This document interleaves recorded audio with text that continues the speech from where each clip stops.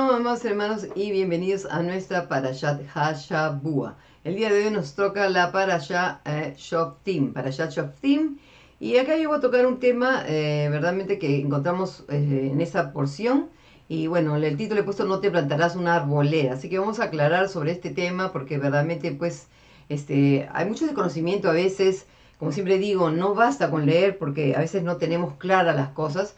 Entonces, lógicamente, tenemos que ir pues a los jajamín de Israel, los sabios, que ellos entienden que transmitieron año tras año, de verdadmente siglos y milenios, de verdadmente la Torah, y entendieron porque eh, la historia, porque no, no, solamente tienen la Torah escrita, sino tienen lo que se transmitió oralmente, y en fin, les llegó a ellos completo. Así que bueno, vamos entonces a hacer nuestra oración para poder empezar el estudio del día de hoy.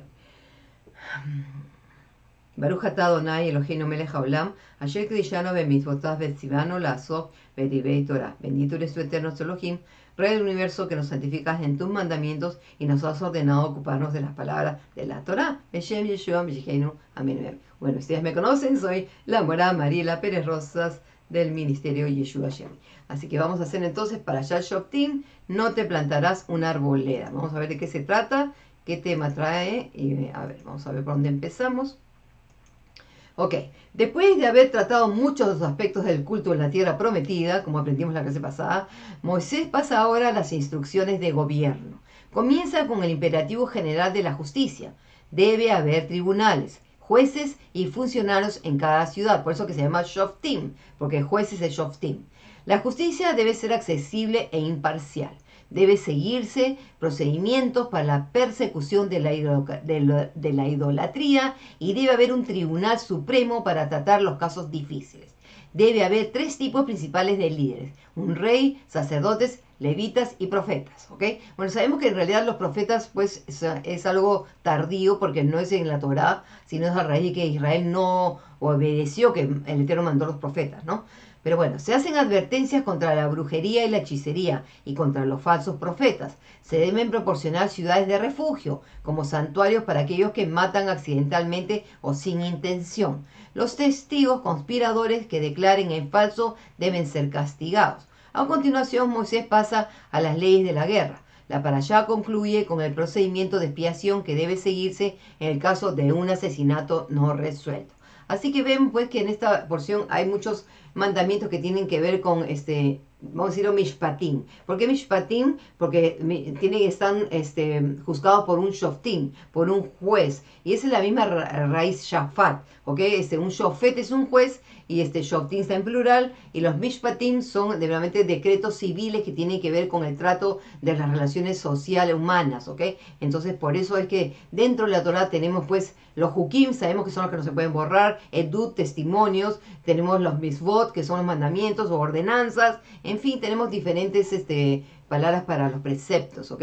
Y también pues está también los mishpatim, que casualmente es la primero que aparece después de la, entrega de los acerejas de Barim, de las 10 palabras. Entonces, vamos a leer 16, 21, que de esto por eso le he llamado yo este, este verso que vamos, a, vamos a, este, a profundizar en este verso, 16, 21, vamos a leerlo en español primero, dice así.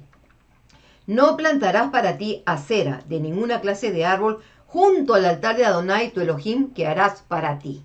¿Ok? ¿Qué es lo que encontramos nosotros en el hebreo? Dice, lotita leja, lotita, la palabra tita, que se ha puesto en rojo, es plantar, ¿ok? Eso es lo que es, no plantar tita, o sea, plantarás leja para ti, ashera, una ashera, una ashera de kol etz, de los árboles, ¿ok? De todos los, de los árboles, dice.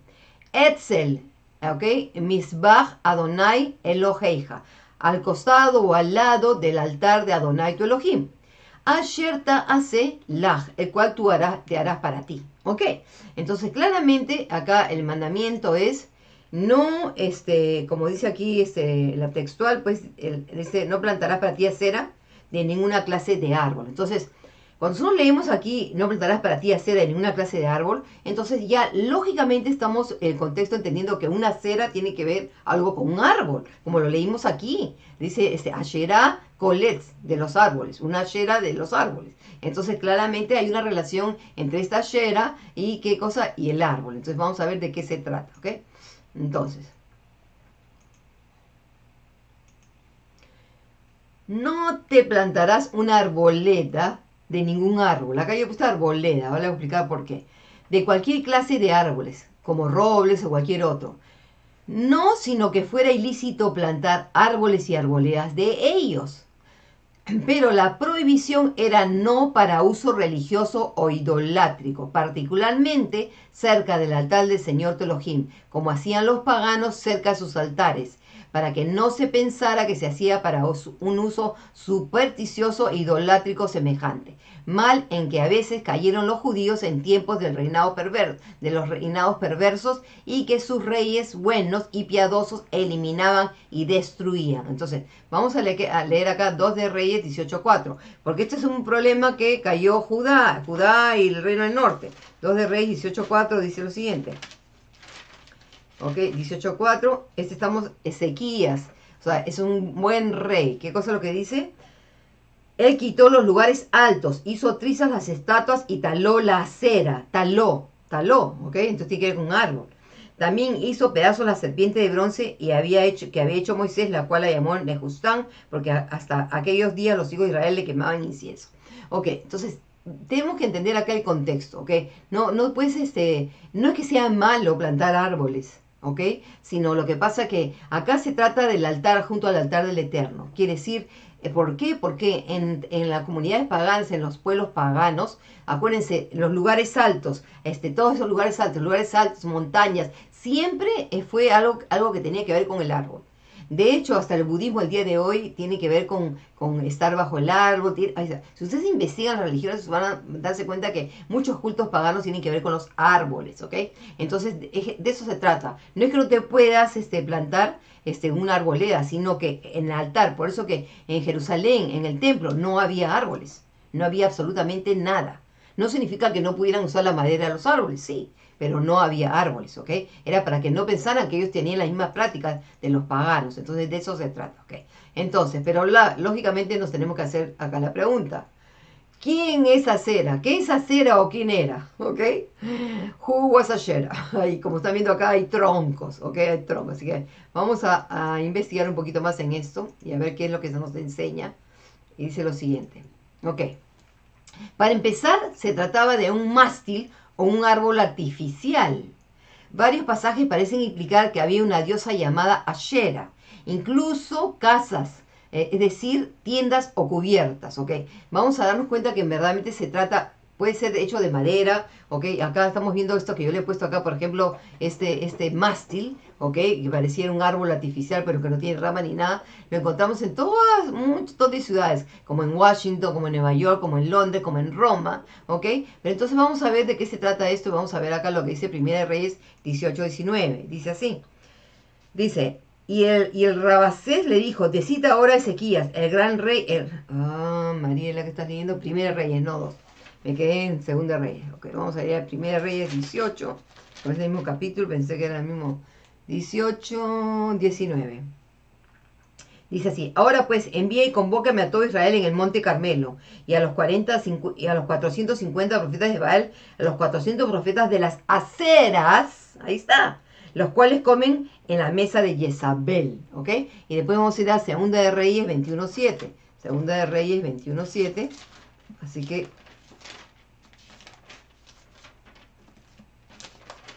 Dice lo siguiente.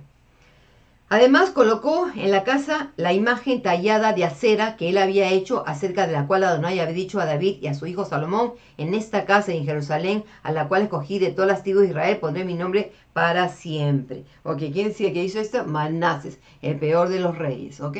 Entonces, pero bueno, vamos a tratar de entender de qué se trata, ok, porque hay varias opiniones al respecto. Aunque la idea de una diosa llamada Asherah ha sido negada, ¿ok? Por la razón de que cada altar, sea cual sea la deidad a la que pertenezca, tenía una Asherah. Como dije yo, todos los altares tenían árboles, ¿ok?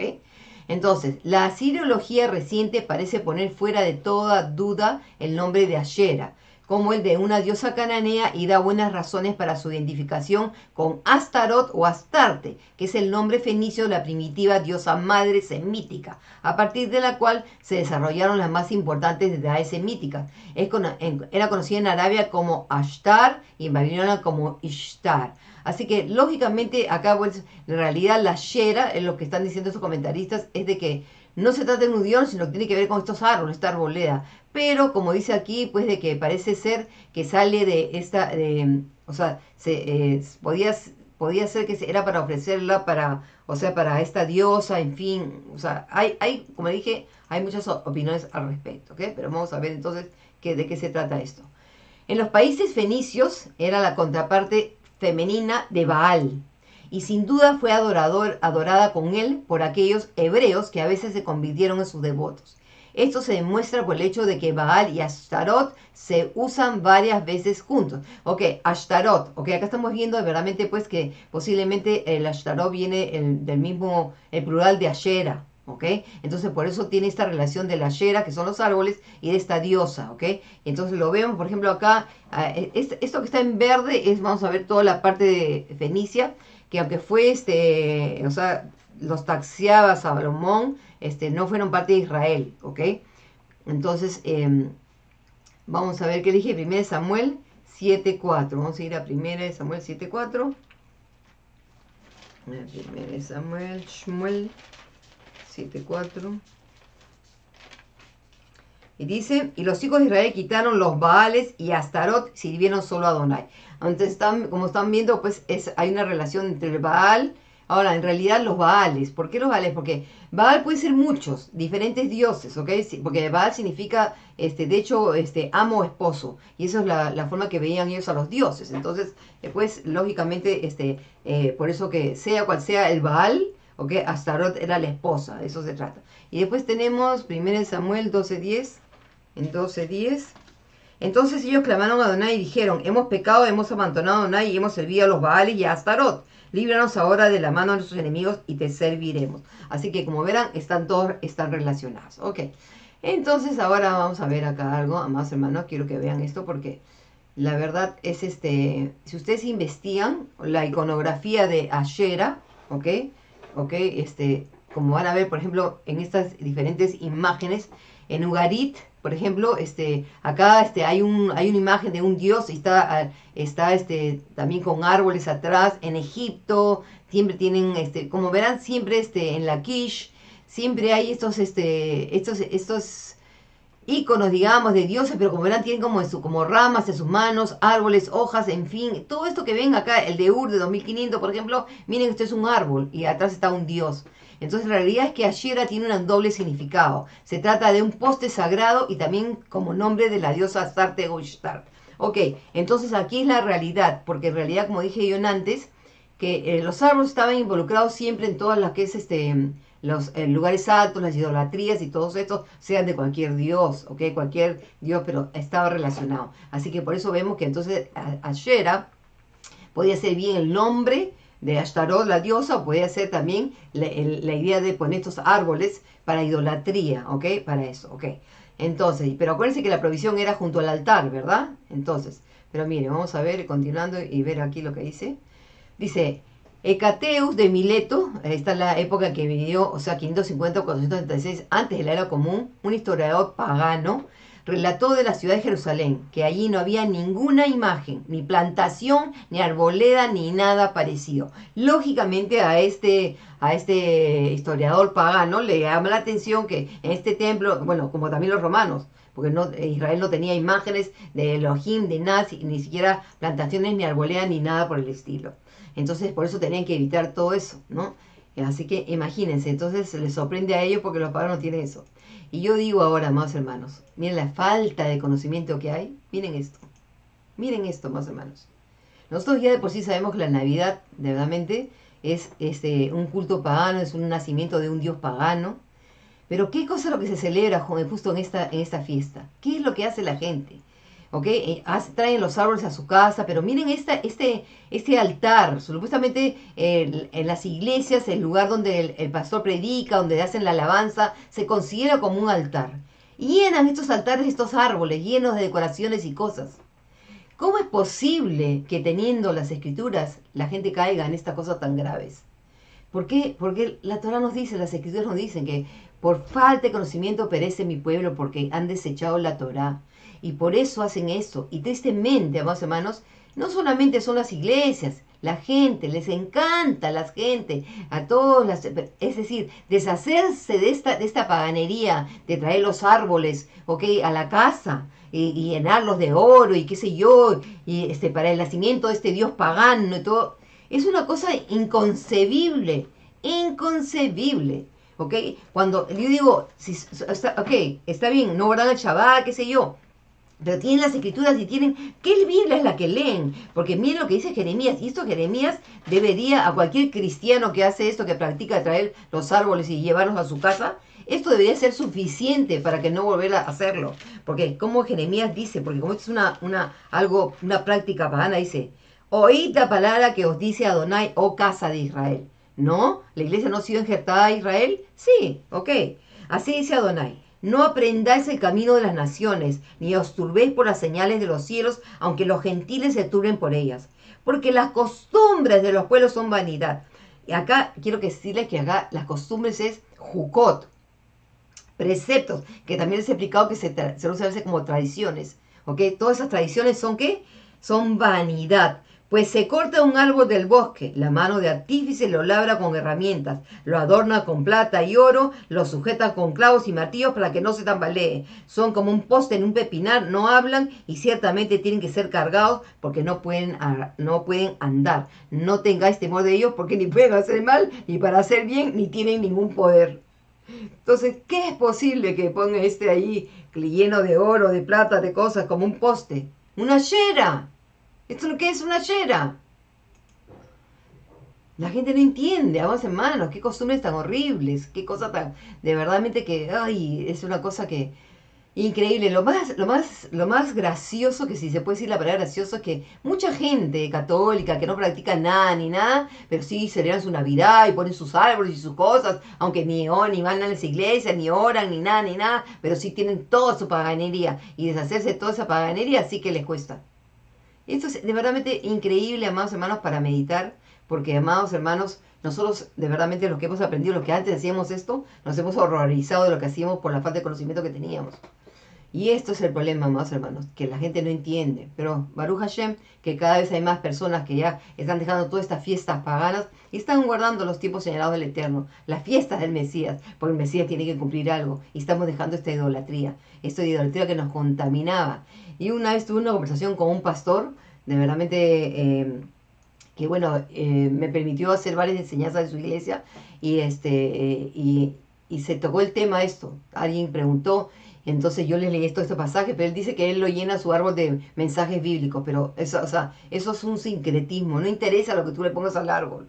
Siempre es traerte un árbol, estarcarlo en tu casa y traer esto a tu casa es algo que no es permitido, no es permitido.